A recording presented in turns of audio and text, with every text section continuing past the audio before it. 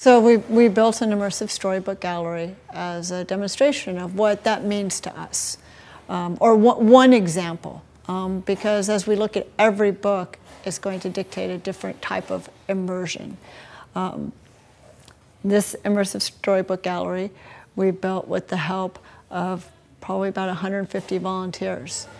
Um, doing all sorts of things from tearing paper to paper macheing walls to putting primer on.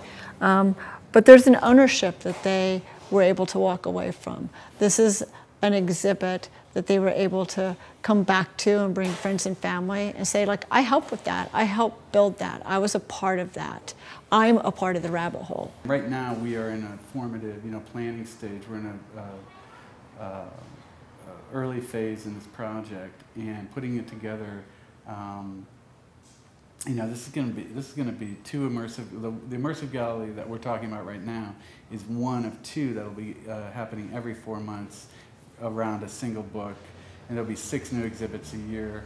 Around that, there'll be a printing press and a bindery, and there will be a theater where kids can go down and parents go down and see a puppet show version of that story they just walked through. They'll be able to see the original art from those books. They'll be able to see um, these, this, this is a, a, very big vision that we're building, and it's going to take a couple of years, but that's, that's what, how we're trying to build it. We're trying to build it from the ground up. And right now we have an Indiegogo campaign on, and that's, that's one of the real functions of it is to, to introduce it to not just Kansas City, but beyond, because this is going to be a national center for the book where uh, writers and artists and illustrators and um, industry people are going to come in, teachers and librarians are going to come in from miles, authors are going to be here constantly. They're going to be working collaboratively with us on many of the installations and exhibits.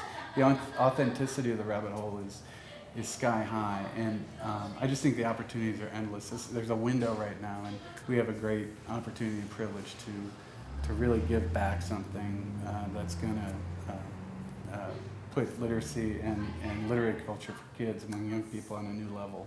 And that's what the rabbit hole is about. We're, we're celebrating authors, illustrators, books in a way um, that will give kids and adults an experience around literature that they won't forget. You won't have, you don't need to be able to read to go into the rabbit hole uh, and have a great day.